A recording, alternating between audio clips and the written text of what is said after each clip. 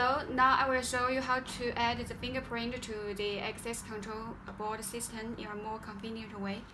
You see there are four uh, fingerprint readers. This one and this one are registered already, but this one and this one are not registered yet. Now we will show you.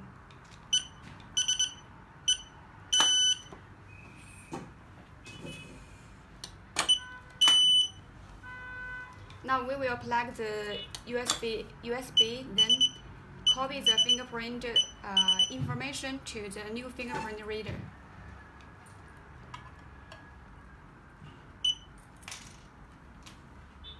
Now it's programming.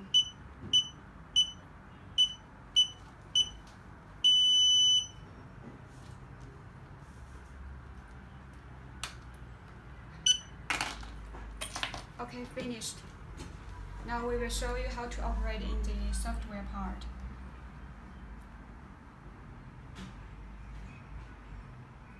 Uh, swipe fingerprint.